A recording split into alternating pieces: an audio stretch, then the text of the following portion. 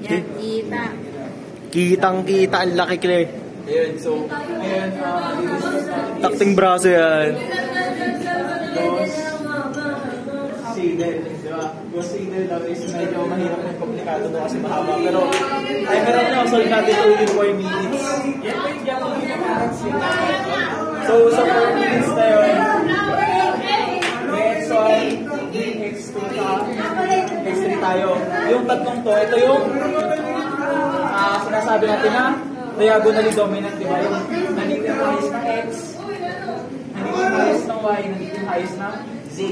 Um, sim. So, ah nalipat na natin yun, alam nyo na yung basics na yun. So, hindi na natin pakabahin. So, pagkahin natin yung given natin dito sa board. So, which is 1 over 5, uh, 2x squared minus 3x cubed minus 1.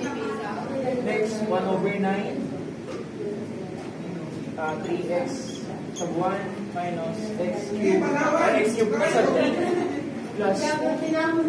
Then last is negative 1 over 7, negative 2x sub 1, plus x sub 2, plus 3. So naka-arrange na yun siya sa uh, pagkakasunod-sunod. So naka-format na siya. So ganyan na kagad yung plug natin. So magkakaroon tayo dito sa board natin ng ating table. Easy. So sa table natin meron tayong uh, iterations 1, 2, 3, 4. So, uh, each yan, uh, magkakaroon ng table natin yan. So, ang magiging calculus natin, diretso na tayo sa calculus, which is, yan. Calculus natin is, Gets mo na ba? Ah, wait lang. A is Ayan. equal to, A, alpha A, equal. X, X sub 2, lahat ng X sub 2 natin, X sub 2 magiging B. Lahat ng X sub 3 magiging C. At saka lahat ng X sub 1 magiging A. So, yun natin dito. 2X sub 2, so 2 X. Next, minus 3, X sub 3, C. Minus 1. Don't, don't forget this 1 over 5 or divided by 5. Divided by 5 na lang. Then, column. B is equal to, parenthesis ulit, 3x sub 1 or 3a Nakasunod. minus Divide. x Five. sub 3 or c plus 2. Then don't forget the 1 Column. Ito. divided by 9.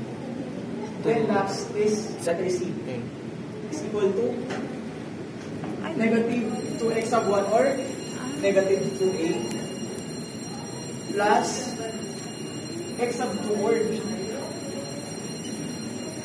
plus 3.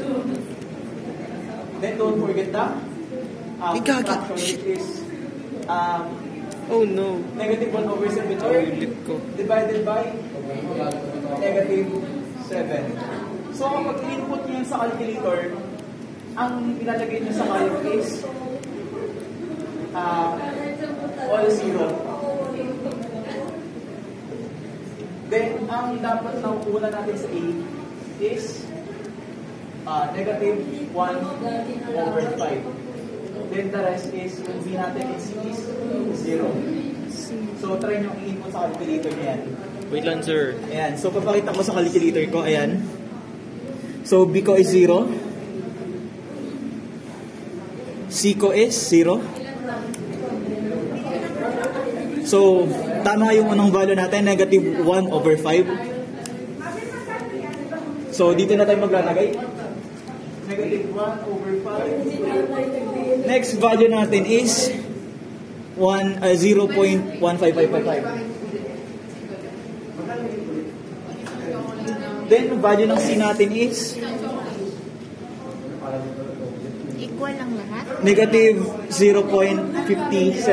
Nagkalk ka na ba? Ayan, calc muna. Tapos, Now, gano siya? ano ilalagay namin sa calc? Sabi. Zero lahat. Zero lahat.